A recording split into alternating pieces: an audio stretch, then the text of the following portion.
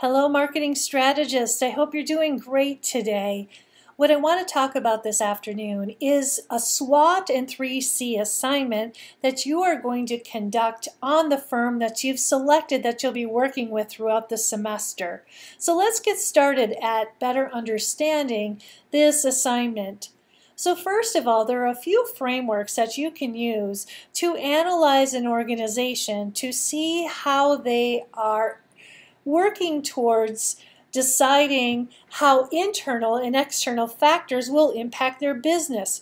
We can do this through a matrix that we call a SWOT analysis. And basically what SWOT stands for are strengths, the things that you're really good at.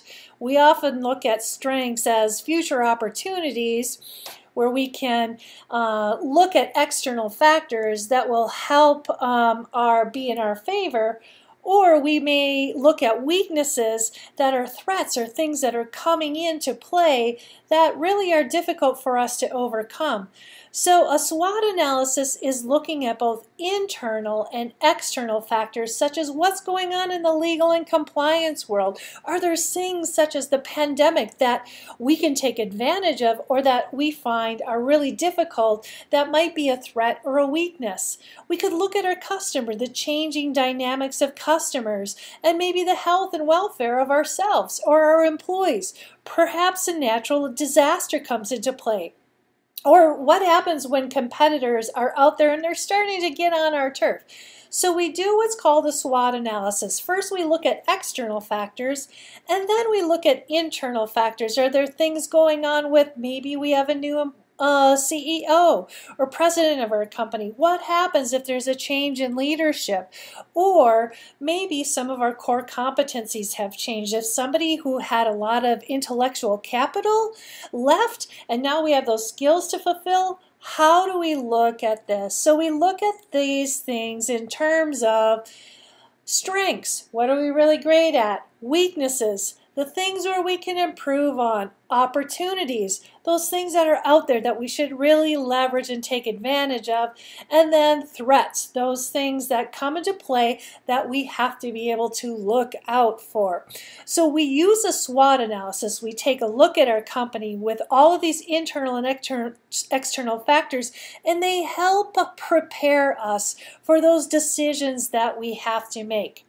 So for this assignment, you are going to take your firm and you are going to go through the process of looking at strengths, weaknesses, opportunities, and threats within a particular context for your firm. So how might we look like this in reality? So we've got a matrix, and the matrix then has strengths, weaknesses, opportunities, and threats. You go through each one of those individually. Let's take, for example, uh, DSU. One thing we can do, if, if, if you are a decision maker for DSU and you're trying to solve a business problem, you might want to look at the strengths of the organization. That could be we are an affordable institution in terms of tuition. Maybe our strengths could be something like we have super faculty or a really strong student body. We have Dixie spirit, all of those wonderful things around our company. Then we could look at weaknesses. Well, what are those external factors or internal factors that may cause us to think about the decisions we're making? For example, what if we have, and, and this is a very real weakness, is do we have increased competitors?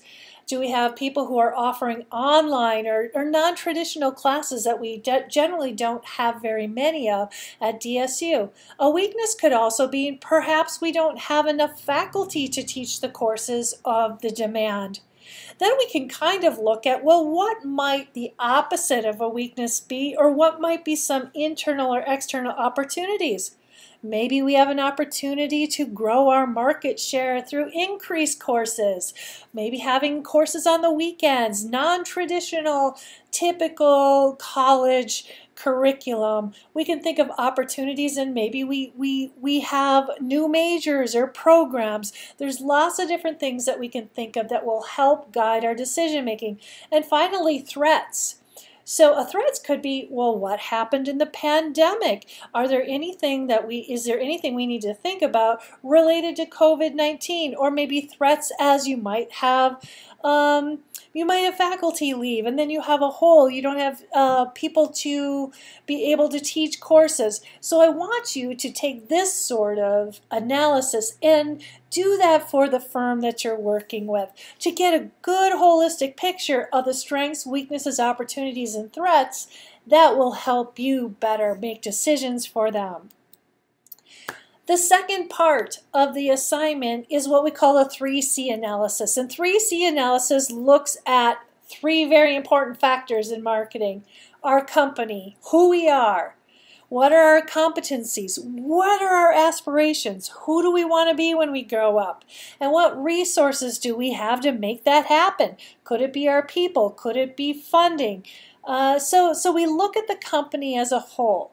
And then we look at our customers. What do we know about our customers? Who are they? What segments do we have?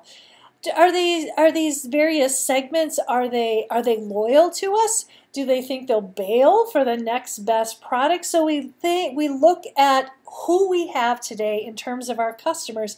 And then finally, oh, that dreaded C, the competitors are always coming after us. What is our competitors offering and how do we line up to that?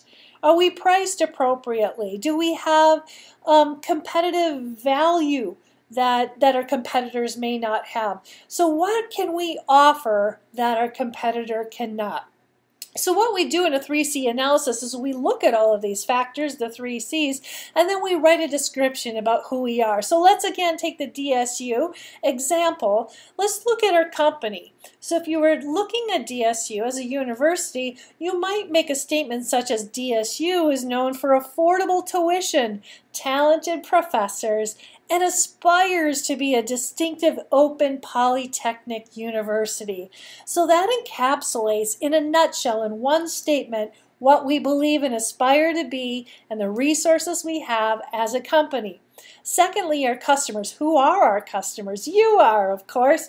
DSU serves people in Utah in the Southwest region of the United States seeking a four-year competitive education.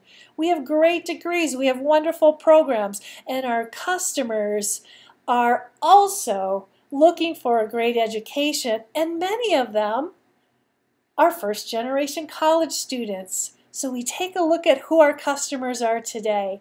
And then finally, who are our competitors? What do we need to look at? We might make a statement such as DSU provides hands-on active learning in an environment that provides opportunity for an active lifestyle. So you take active learning, active life, and put it together. So this is how you can go about making a SWOT analysis, and a 3C analysis. Now here's what I want you to do for the assignment.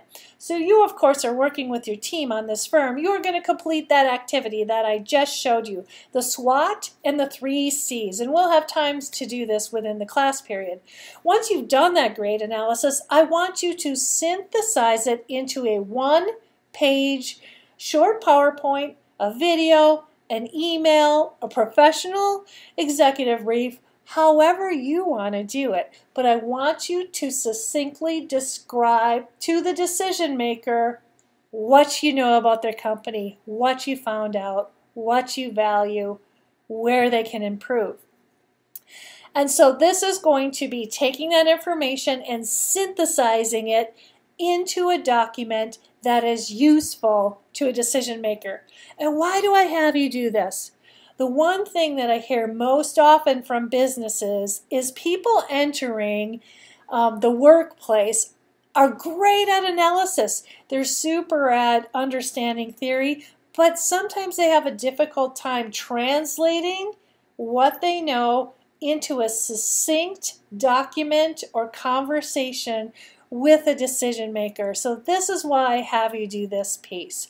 The third thing you're going to do is you're going to provide feedback on your peers in uh, an evaluation form. So, so to, to go through this one more time, step one, you're going to complete the SWOT analysis using the document I've provided. you're going to complete the three C's and you are going to then take the information that you've gleaned, you've learned about your firm, and you're going to, in the second page, create a professional document. It could be a PowerPoint deck, it could be a one page executive summary, or a well written email with some attachments if you prefer um, to your decision maker. So the format is up to you, but one thing you're going to have to do when you upload these documents, upload your executive summary and also that, that worksheet you've been working on to consolidate your data. Finally, you're going to do that peer review. Let me know of the your team members who contributed and what percentage. So overall, you can find the instructions to this assignment, including this video. There's written instructions. The forms you'll need are in there to create the analysis. And then you can find these in Canvas. Once you're finished, make sure you upload both your executive summary and the worksheets that you've completed. Finally, again, rate your peers. How did they contribute? Uh, was it equitable? Let me know how you're feeling about the group work because this is important in terms of your success and your grade.